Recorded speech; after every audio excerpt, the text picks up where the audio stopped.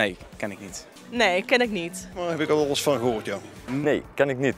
Nee, ik ken hem niet. Wat is dat? Lean Sigma is een, eh, een methodiek met behulp waarvan je een, eh, een bedrijf veel efficiënter eh, kunt laten werken.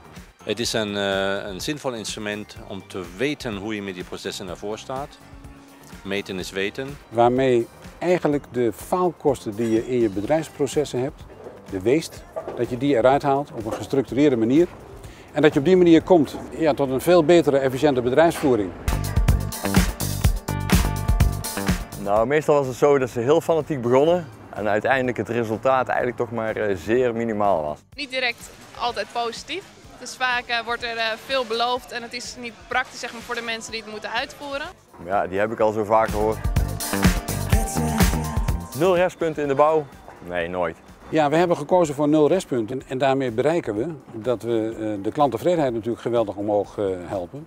Maar je zult ook zien dat het veel prettiger is om in zo'n bedrijf te werken en dat we op die manier zelf als teams ook veel meer plezier hebben in datgene wat we, wat we aan het doen zijn. Bedrijven die dit gedaan hebben, die zitten niet zozeer in de bouwsector, maar die zitten meer in de productiesector. Voorbeelden zijn natuurlijk GE in eh, Amerika, waar het eh, eigenlijk uitontwikkeld is. Maar ook bij DAF in Nederland. We zijn echt bekend met Lean Six Sigma, want eh Zes Sigma dat hebben we alweer ingevoerd zo'n dikke tien jaar terug. Toen wij begonnen waren wij in Europa de kleinste speler. Inmiddels zijn wij de tweede grootste truckleverancier van Europa. Moet goed bedenken dat we zo in 2004 zo'n 100 trucks per dag maakten. In 2008 op, het, op de piek van de markt was dat ruim verdubbeld. Nou, sprekend is dat wij daarvoor niet meer vierkante meters nodig hadden. Lean Six Sigma versterkt de, de samenwerking tussen mensen absoluut, omdat je samen projecten doet.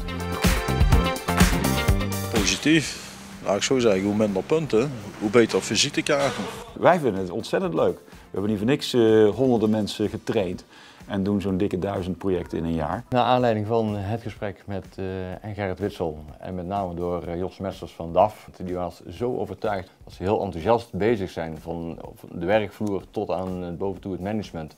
Je zult ook zien dat we daardoor veel efficiënter gaan opereren en, eh, en tegen veel minder kosten.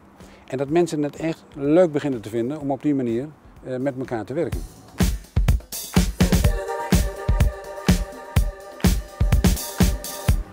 Doen we dat. Doen we.